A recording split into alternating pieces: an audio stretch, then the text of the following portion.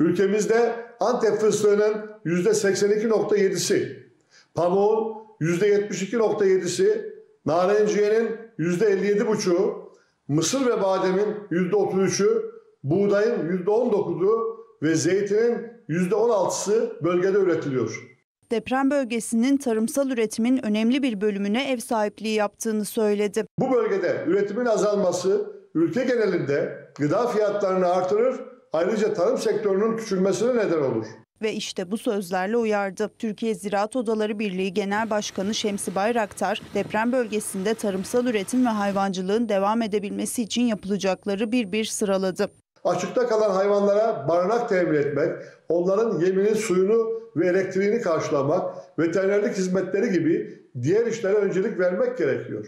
Tarımsal üretimde ekipmanların önemine de değindi Bayraktar. Gerekirse belirli yerlerde makine parkları kurulmalı. Bir organizasyon dahilinde üreticilerin makine ve ekipman kullanımı sağlanmalıdır ifadelerini kullandı. Zarar gören çiftçilerimizin tarımsal faaliyetlerinin olmazsa olmazı olan makine ve ekipmanları derhal yenilenmeli, bölgedeki üreticilerimiz kırsal kalkınma ve yatırım desteklerinden öncelikli yararlandırılmalıdır.